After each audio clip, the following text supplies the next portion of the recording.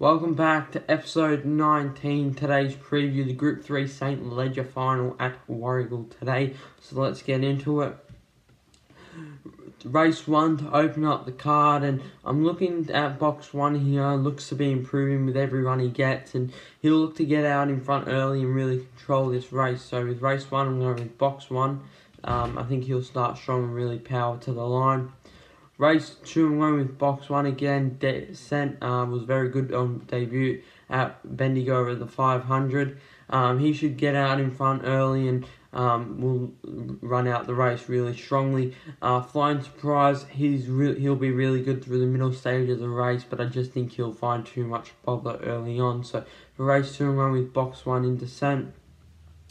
Race 3 and 1 with box 7, uh, Camulus uh, looks to get out well and will look to reel in uh, rumour as fact in the later stages. So in race 3 and 1 with box 7, Camulus, who will uh, really um, rein in on uh, rumour as a fact in the later stages of the race. So for race 3 and 1 with box 7, Camulus.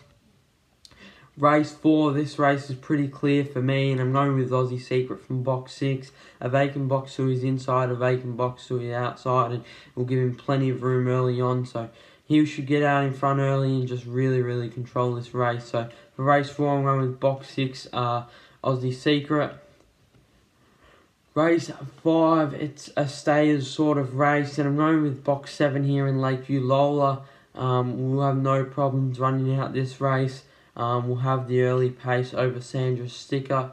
And I thought Lakeview Lola wasn't uh, to be disheartened uh, in her uh, fireball heat. So I think she, when she matures, she'll get even better.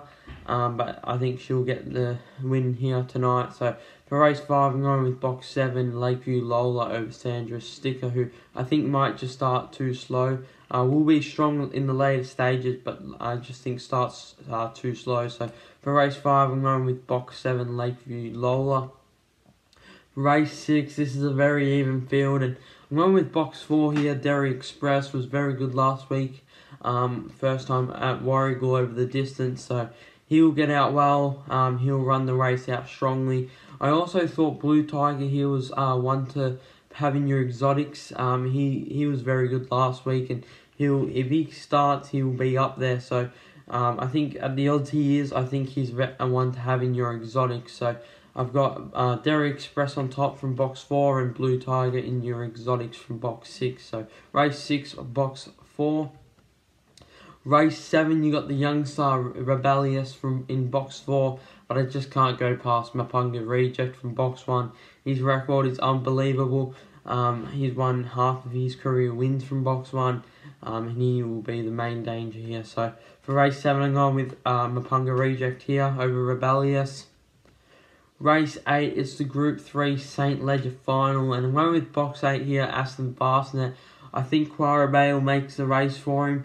Um, and if she can get out early and cart across, it will really make the race for Aston Fastnet. So he'll be looking good if he can just match the start with Quara Bale. He really runs out this race strongly and will be really strong late in the race. So I'm going with uh, Aston Fastnet in the final. Koblenz, I think he'll be hindered by Shimmer Classic early on.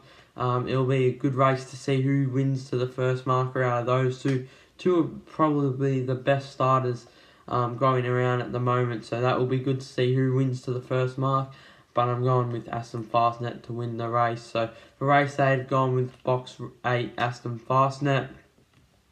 Race 9, going with box 5 Chabika Oasis. Um, has been starting really well and musters up good pace after box rise. So um, he'll be looking to make it three in a row and uh, should get race 9. So for race 9, I've gone with box 5 uh, Chabika Oasis. Race 10 to round out the night, and I've gone with box 4 Jetta's Girl. Um, was looked really good at sale last time out. Um, will look to be the main danger again here, and um, should just run out the race the strongest. So for race 10, I'm going with box 4 Jetta's Girl.